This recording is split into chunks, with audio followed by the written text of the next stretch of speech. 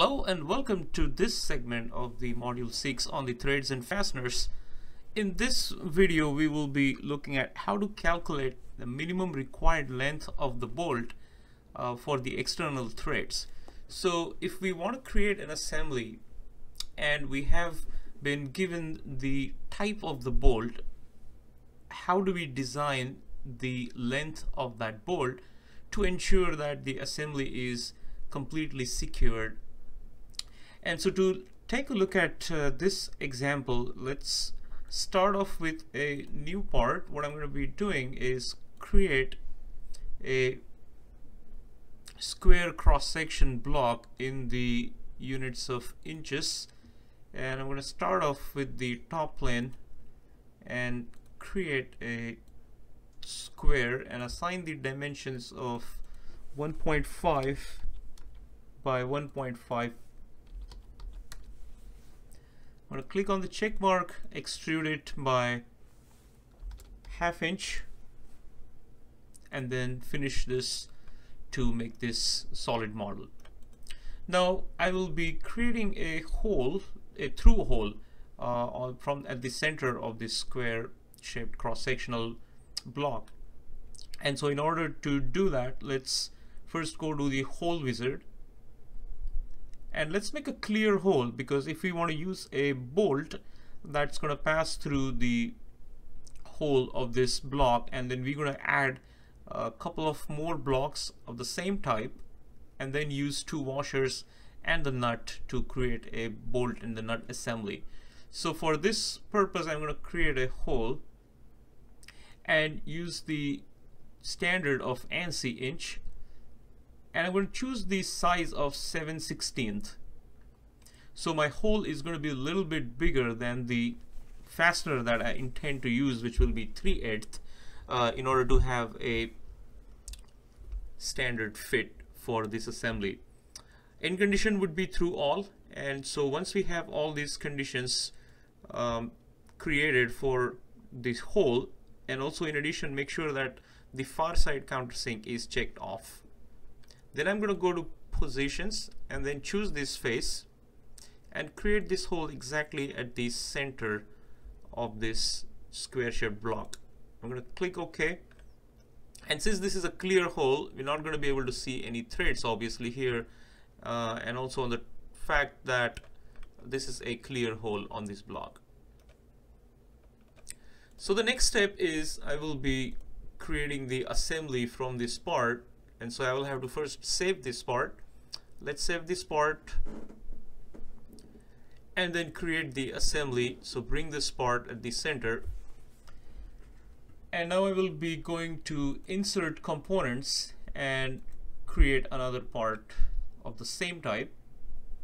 Again you can either leave that pin option on to add many instances if you would like for the same part or simply click and hold down the control key and then drag this part uh, to create another instance of it. So it's it's it's basically the same thing. And I'm going to place these three blocks and create an assembly on the uh, top of each other. So the first thing I will be doing is uh, align the axis create the mate same thing for the third block as well and then click on the check mark because I need to separate them out a little bit so that uh, we can create uh, the assembly. So the next assembly is going to be mating this face with the other. Again the faces needs to be assembled.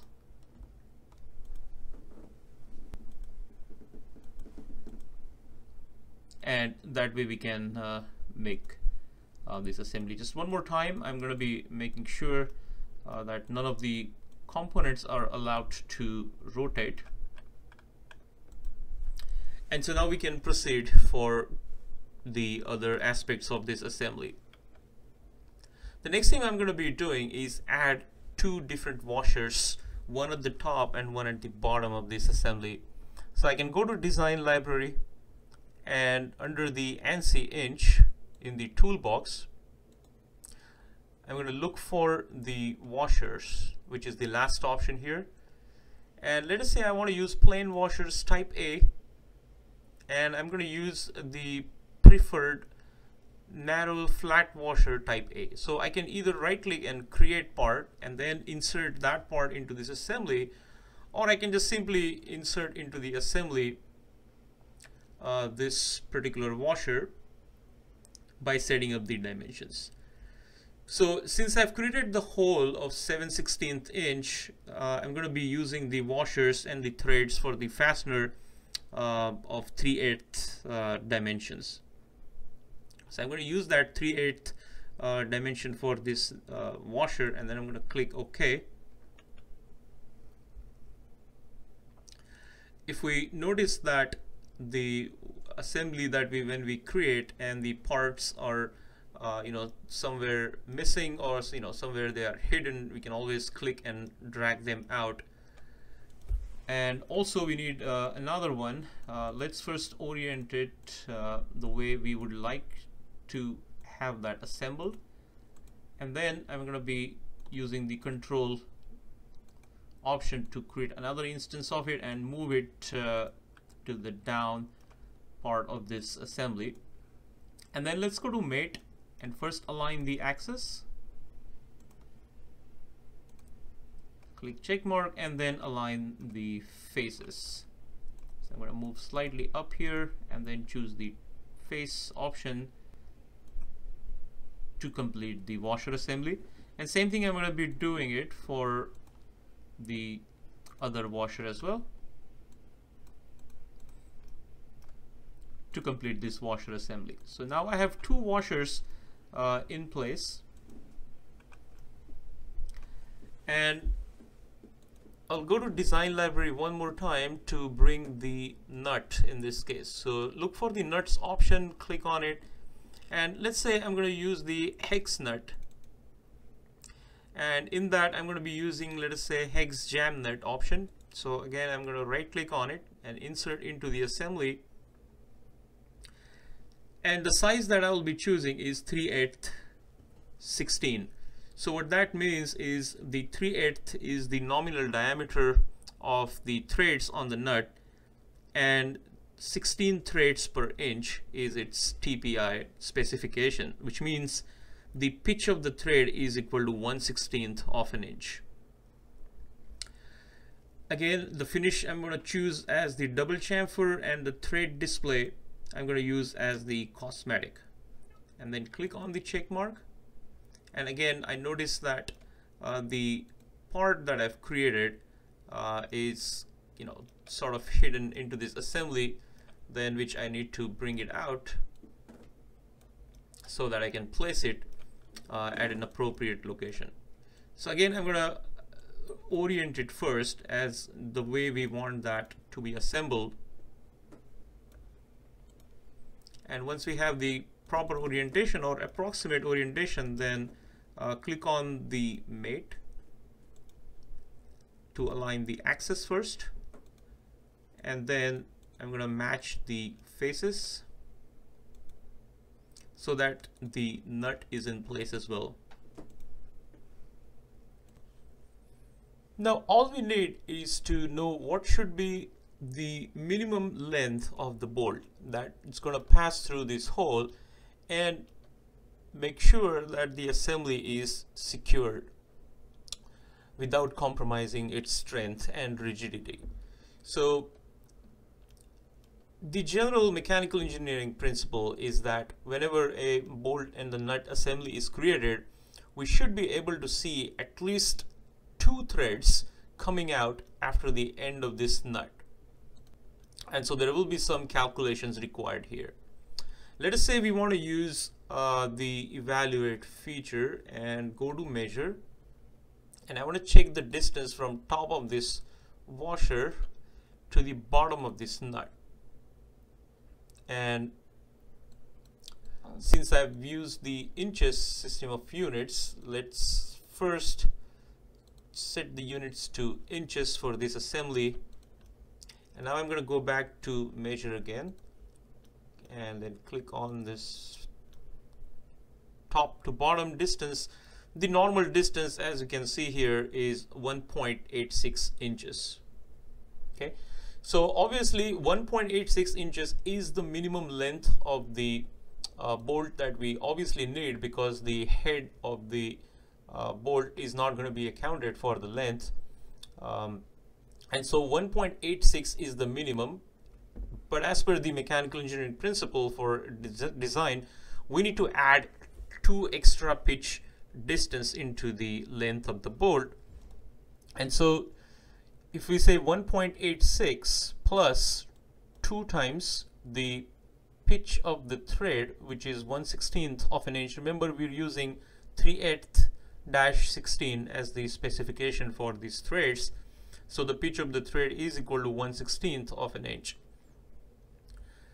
and that equals to 1.982 inches which will then we can round it up to 2.0 or the next nearest available standard size in that bolt because you know obviously no manufacturer is going to create uh, the bolt length of that uh, dimensions exactly. So based on these calculations of accounting for two extra threads that will be visible beyond the uh, end of the nut, then we can design the length of the bolt. And so in this case this calculation comes out to be 1.982 which we can then round it up to 2 inches uh, or more with whatever this uh, next available size of the bolt that we want to choose. Again let's go to the design library. Let's go to the bolts and screws. I'm going to choose the hex head and let's say I want to use the uh, hexagonal bolt I'm going to right click on it, insert into the assembly.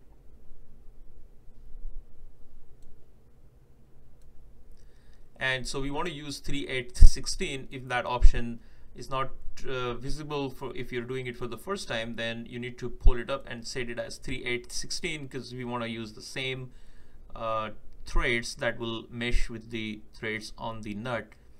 So size 3816 and the length as we've calculated the next available length after 1.98 is 2 so we're going to use 2 inches of length and out of that we don't really need the whole length of the bolt to be threaded. So we're going to just use 1 inch of that threaded. Cosmetic display is the option that we can choose here and then click on the check mark and so that way we can create the bolt. Again uh, if you are not able to see the threads then you need to go to the options document properties detailing and then click on the shaded cosmetic threads and then click OK. I'm going to orient this again going to the assembly tab as the way we want and then use the standard mate procedure to complete this assembly. So I'm going to first align the axis, bring it up a little bit, and then match the bottom of the head of the bolt to the top face of the washer and then click on the check mark and click OK to finish the assembly and just to verify that our calculations make sense as we can clearly see the two threads coming out beyond the nut as we've used in this assembly. So that uh, ensures that the nut assembly or the bolt in the nut assembly is is secured uh, you know for these three components together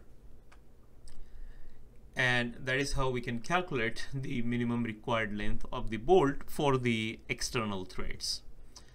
Thanks for watching and we'll talk about the threaded depth uh, for the internal part of the uh, solid model when a specified length of the bolt is provided uh, in the next part.